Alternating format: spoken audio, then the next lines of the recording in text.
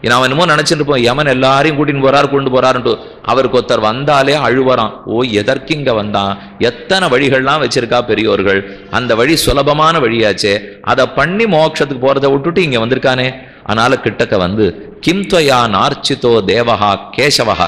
கிளேசநாசனஹா கேசவன்னு சொன்னா அர்த்தம் சொல்ற பாருங்க. கிளேசநாசனஹா.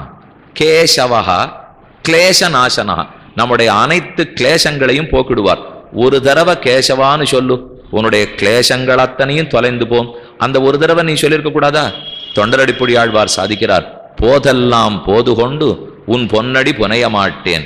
தீதிலா மொழிகள் கொண்டு உன் திருக்குணம் செப்ப மாட்டேன். காதலால் நெஞ்சமன்பு கலந்திலேன். அது தன்னாலே ஏதிலேன். அரங்கற்கெல்லே என் செய்வான் தோன்றினேனே. நான் ஒரு புஷ்பத்தை எடுத்து உனக்கு அர்ச்சனை பண்ணதில்லை.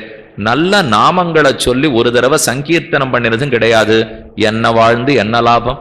ஸ்ரீராம ராம ராமேதி ரமே ராமே மனோரமே சஹசிரநாம தத்துல்யம் ராமநாம வரானனே. நாமத்தை சொன்ன எத்தனை நன்மைகள் நமக்கு கிடைக்க போறது? இருபது நிமிஷம் ஆகுமா சஹசிரநாமம் சொல்ல? அதை கூட இவன் முழுக்க சொல்ல முடியலையா? அதனால பார்வதி தேவி பரமசிவனார்ட்ட கேட்குறா என் பிள்ளைகள்லாம் முழுக்க சொல்லுவாளா தெரியல. கொஞ்சம் ஒரே ஒரு நாமம் இருந்தால் சொல்லுமே. அது ஆயிரத்துக்கும் சமமா இருக்குமான்னா அதுக்கு அவர் வழி சொன்னார். சரி ராமநாமத்தை சொல்லு. ஆயிரம் நாமத்துக்கும் சமமா இருக்கட்டும். ராம ராம ராம ராமன்னு சொல்லு வால்மீகி என்ன திருடர் இருந்தவர் எப்பேற்பட்ட ரிஷியாயிட்டார் இப்போ? அதனால நாமத்தை சொன்னோம்னால் அபிச்சேத்சு துராச்சாரா பஜதே மாம் அனன்ய பாக் சமயக் சாதுரேவ சமந்தவ்யா சமயக் கவசிதோஹி சஹ. கண்ணன் கீதையில சாதிக்கிறார். எத்தனை ஒழுக்கம் கெட்டவனா இருக்கட்டும். ஒரு தடவை என்னுடைய நாமத்தை அவன் சொன்னான்னால் அவன் ஒழுக்கக்கேடு அத்தனையுமே மன்னிக்கப்பட்டு ஏற்றுக்கொள்கிறேன் ஆனால் ஒன்றும் அந்த நாமத்தை சொன்ன பிற்பாடு நல்லவனாக இருக்கணும். சொல்லிண்டே கெட்டவனாக இருக்கணும்னு நினச்சிடக்கூடாது. எதற்குமே ஒரு பிராயசித்தம் பண்ண போகிறோன்னு வச்சுக்கோ தப்பு தொடர்ந்து கொண்டு வந்தால் பிராயசித்தம் பலிக்காது. என்ன பாப்பம் பண்ணிட்டு இருக்கோமோ அதை நிறுத்திட்டு தான் பிராயசித்தம் பண்ணணும். தொடர்ந்துட்டே பிராயச்சித்தம் பண்ணோம்னா அப்போ அது பறிக்காமலே போயிடும் இல்லையோ? இது விஷ்ணு தூதர்கள் யமதூதர்கள் சம்பாதம் அஜாமிளனுடைய சரித்திரம். மேலே கூறுகிறார் தக்ஷ பிரஜாபதியினுடைய ஜன்ம தக்ஷனுக்கு பல குமாரத்திகள் பிறந்தனர் அறுபது பெண்கள் பிறந்தார்கள்னு பார்த்தோம். நாரதருக்கு தக்ஷர் ஒரு சாபம் போட்டார் வேடிக்கையான கதை. நாரதர் எங்கேயும் சுத்தின்றே இருக்கார் இல்லையோ? வீணையை வச்சு இங்கே போறார் அங்க போறார் நாராயண நாராயண நார். ஏன் சுவாமி? ஏன் ஒரு இடத்துல இருக்க மாட்டார் அவர்? ஏன் மாட்டார்னா இந்த தக்ஷன் தான் சாபம் போட்டான். தக்ஷ பிரஜாபதிக்கு முதல்ல ஹரியஸ்வரர்கள்னு பல்லாயிரம் பிள்ளைகள் பிறந்தா. அவர்களை மேற்கொண்டு ராஜ்யத்தாண்டு நீங்கள் படைப்பு தொழிலை பாருங்கோன்னு தக்ஷன் சொன்னார். சரி பண்ணுறோன்னு அவ கிளம்பரிச்சே அவ நாரதரை சந்திச்சா. நாரத அவர்களை கூட்டின்னு போய் உட்காருங்க நான் ஒரு உபன்யாசமானு கேளுங்கோன்னார். சரி ரொம்ப பெரிய தேவரிஷி சொல்கிறாரே அப்படிங்கிறதுக்கு உட்காந்து கேட்டா. அவர் நிறைய வைராக்கியத்தை புகட்டுட்டார் அவருக்கு. இந்த மாதிரிலாம் சிருஷ்டிக்கெல்லாம் போகாதீங்கோ. அதெல்லாம் வேண்டாம். நான் சொல்கிறபடிக்கு வைராக்கியத்தோட பக்தியோட வாங்கோ. இதுதான் உங்களுக்கு நல்லது. மோட்சம் போகலான்னு ஆசை காட்டினார். எல்லா பிள்ளைகளும் அப்பாவை பார்த்தா நீர் சொல்கிற வேலைக்கு நான் வர்றதா இல்லை. நாங்கள் தியானம் பண்ணி மோட்சம் போக போயிட்டான். அவருக்கு வேலைக்கு பாடு இல்லை. இவா மோட்சத்துக்கு போயிட்டாள்னா அப்புறம் இவர் வேலையை யார் பார்க்கறது?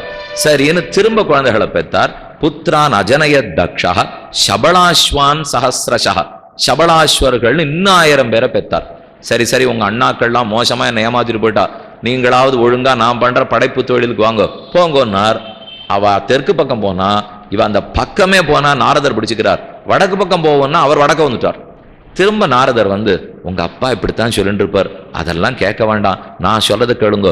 என்னோட தியானத்துக்கு வாங்கோ. வந்து மோட்சத்துக்கு போயிடலான்னா அவளையும் அழைச்சின்னு போயிட்டான் இதை கண்டு கோபம் வந்து தான் தக்ஷன் சபித்தான். இப்படி ஒவ்வொன்றா நான் எம்பிள்ளைகளை எனக்கு வேணும்னு வச்சிருந்தா நல்லத்துக்கு தான் கூட்டின்னு போனார்.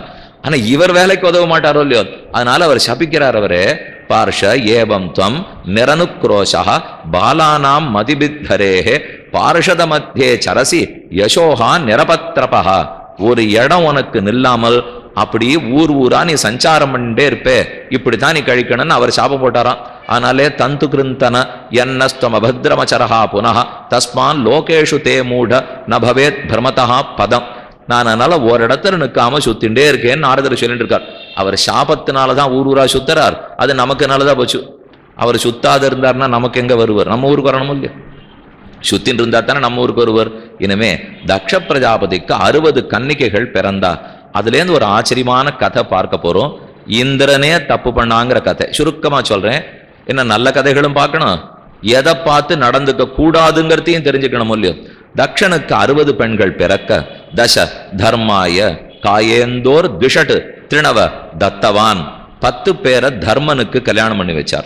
அடுத்தது இருபத்தி ஏழு நட்சத்திரங்களையும் சந்திரனுக்கு கல்யாணம் பண்ணி கொடுத்தார். திருணவ தத்தவான். காஷ்யபருக்கு பதிமூணு பெண்களை கொடுத்தார். பூதாங்கிர கிருதாஸ்வேபியா த்வே த்வே தார்க்ஷாய சாபராக பூத அங்கிரசு கிருதாஸ்வர் இவர்களுக்கு ரெண்டு ரெண்டு பொண்ணு ஆறு பொண்ணை கல்யாணம் பண்ணி கொடுத்தார். கடைசியா தார்க்ஷனுக்கு நாலு பெண்களை கல்யாணம் பண்ணி கொடுத்தார்.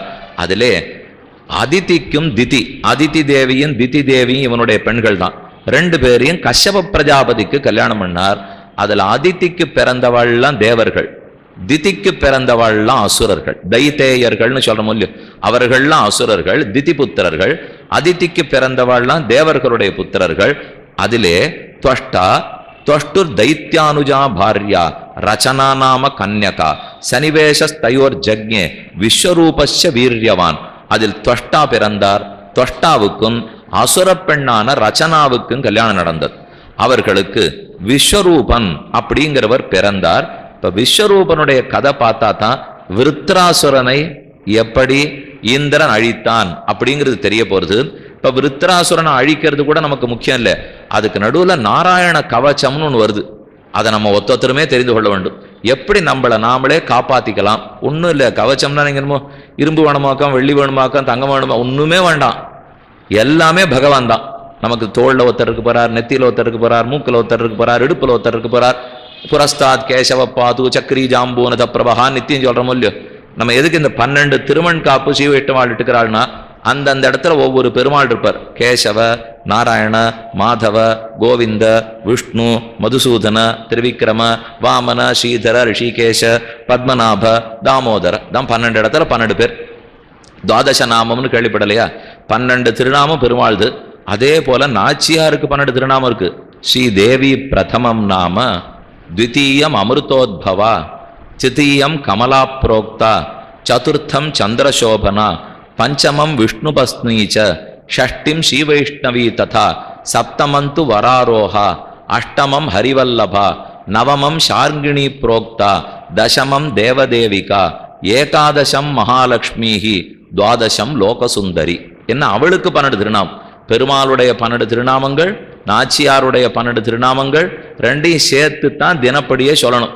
இது எங்கேயோ இருக்குன்னு நினச்சிக்க வேண்டாம். நம்ம சரீரத்தில்.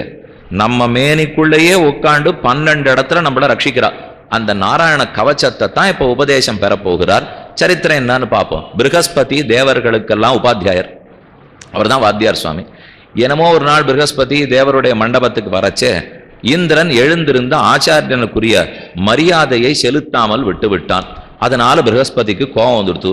வாசஸ்பதிம் முனிவரம் சுராசுர நமஸ்கிருதம். அஹோ பத மமாசாது. கிருதம் வை தப்ர புத்தினா என் மயைஸ்வர்யம் அத்தேன குரு சதசி காத்கிருதா கோ கிருத்தேது பண்டிதோ லக்ஷ்மீம். திரிவிஷ்டபதேரபி எப்பேற்பட்டவராக இருந்தாலும் குருவை அவமரியாதை பண்ணலாமோ? என்னை எப்ப சீடன் அவமரியாதை பண்ணிட்டானோ? இனிமே தேவர்களுக்கு குருவா நான் இருக்க மாட்டேன்னுட்டு அவர் கோச்சுன்னு புறப்பு போயிட்டார். வருத்தமா கிளம்பிட்டார். குரு இல்லைன்ன உடனே இவனுக்கு பெரிய ஆபத்தா போச்சு. இதே சமயத்தில் அசுரர்கள் வலிமை பெறுவதற்கு ஆரம்பிச்சுட்டா.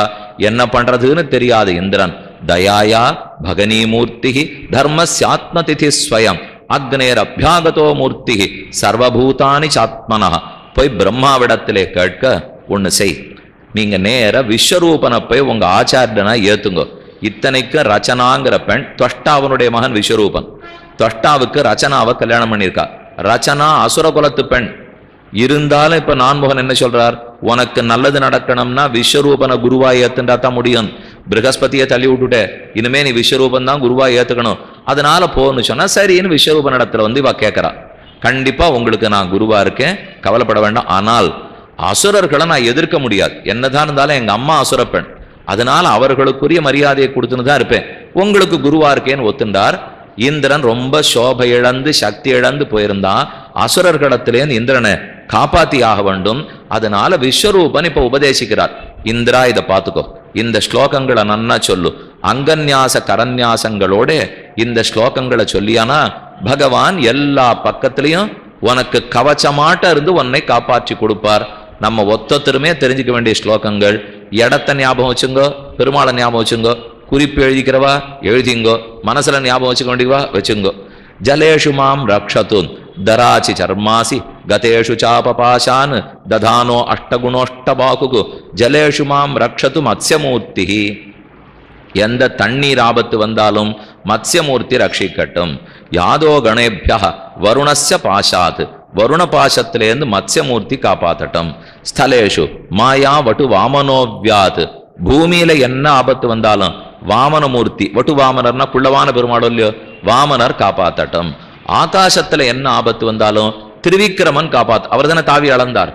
திருவிக்கிர பெருமாள் ரட்சிக்கட்டும். துர்கேஷு துர்கேஷு அடவ்யாதி முகாதிஷு பிரபு பாயான் நிருசிம்ஹோ அசுரயூத பாரிகி நிருசிம்ம பெருமாள் மலை காடு தோட்டம்.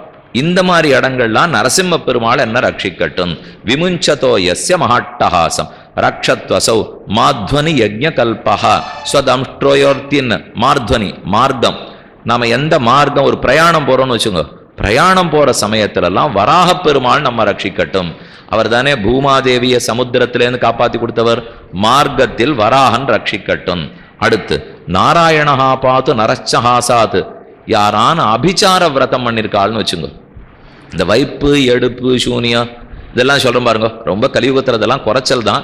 இருந்தாலும் ஒருவேளை அதெல்லாம் இருக்குன்னு சொன்னால் அப்ப நரநாராயண பெருமாள் அதிலிருந்து என்னை ரட்சிக்கட்டும். தத்தஸ்வயோகாத யோகநாதா பாயாத் குணேஷா கபில கர்மபந்தனாத். இந்த லோகத்துல கர்மங்களால பீடிக்கப்பட்டு நான் மாறி மாறி பிறக்கிறேனோ இல்லையோ அதிலேருந்து கபிலாச்சாரியர் என்னை ரட்சிக்கட்டும்.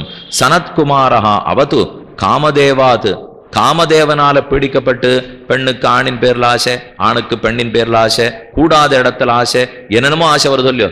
சனகன் சனாதனன் சனத்குமாரன் முதலானவர்கள் நம்மை அதிலிருந்து காக்கட்டும். அடுத்து ஹயசீர்ஷாமாம் பதி தேவகேளநாத். தேவர்களிடத்துல நான் ஏதானு குற்றம் பண்ணிட்டேன்னா ஹயக்ரீவ பெருமாள் என்ன ரட்சிக்கட்டும்.